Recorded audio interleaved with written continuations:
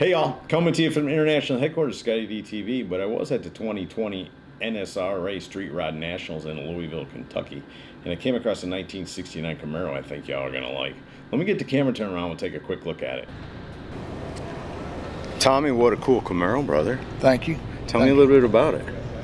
Well, we've had the car about 17 years Oh, wow.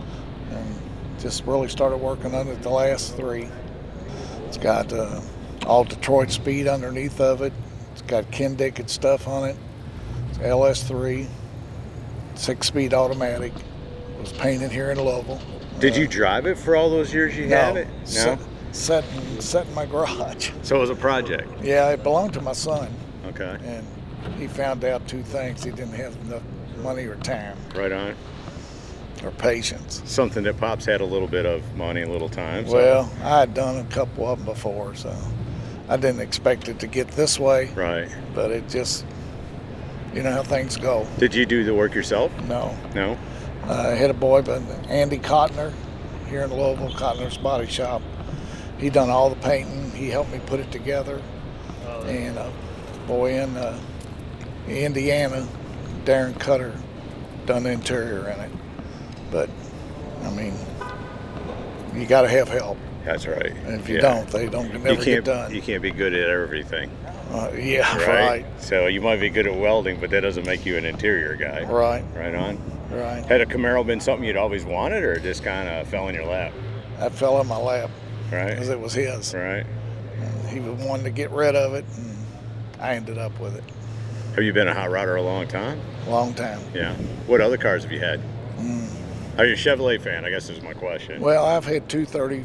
I had a 32 Ford and a 34 Ford, and then I had a 37 Ford sedan, a Vicky, and I've had a few 55s and a bubble top.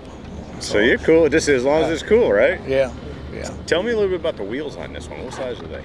They're 18s in the front, 20s in the back. All right. 20 by 12s in the back, and 20 by 8s in the front. And what is color red is that? It's Viper Red, Okay. So it's a Dodge Viper color? Dodge Viper. Okay. You didn't make any changes to it or anything? Nope, it's stock color. Did you make any kind of body mods to it or anything like that?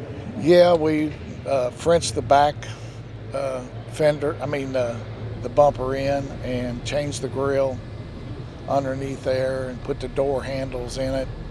And it's got a 5960 dash in it, Okay. Impala dash in it.